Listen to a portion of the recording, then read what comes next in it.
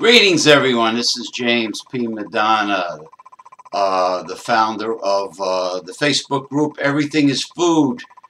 You know, I've said it in, on my show, Progressive Discussions, that all these local pubs and taverns and restaurants, they all stopped the all-you-can-eat corned beef and cabbage on St. Patrick's Day.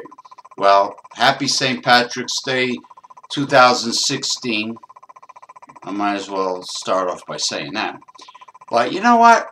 This is the second time I've made it. The first time I made this, it came out excellent. And I am going to eat corned beef and cabbage that I cook myself until I bust.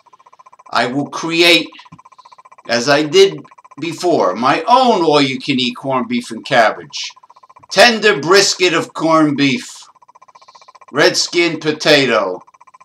Oh, by the way, the Washington Redskins, you want to, the football team, you want to avoid the controversy, just put the, the red skin potato on the side of your helmet.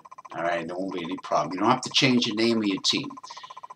Cabbage, which I always loved, carrots.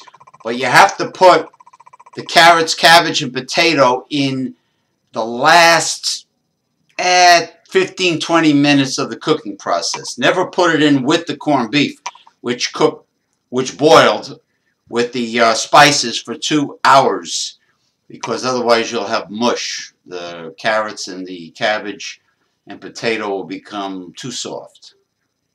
Enjoy and be safe.